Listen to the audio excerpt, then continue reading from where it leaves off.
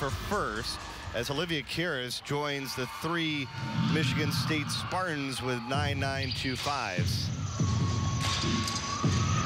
Starts off with a big first pass. Does a piked full in. Wow. Very clean in the air.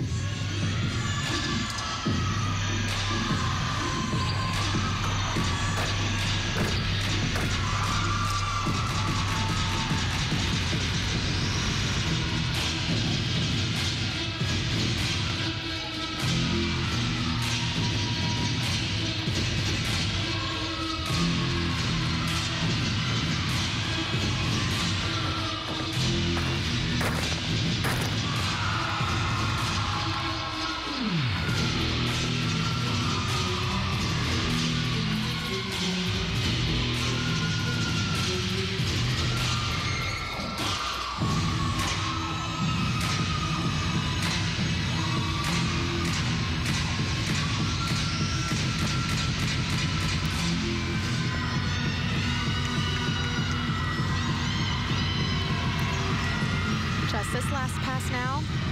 She's hardly had any deductions throughout this routine. Ends with that beautiful double pike. Perfect landing. Wow. I don't know. That could be pretty close to that 9975. The Wolverines are on a roll.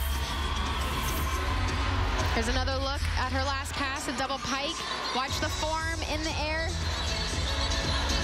Beautiful, solid landing.